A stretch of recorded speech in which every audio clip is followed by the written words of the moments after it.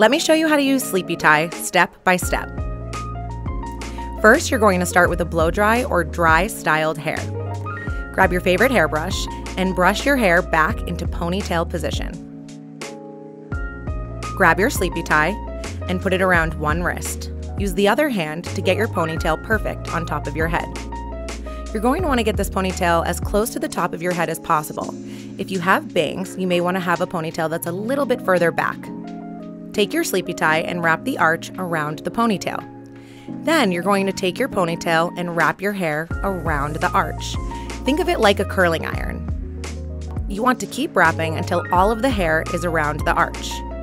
You're going to need two hands to get this done perfectly. Take both sides of the scrunchie and turn it into a figure eight position and make a bun on top of your head.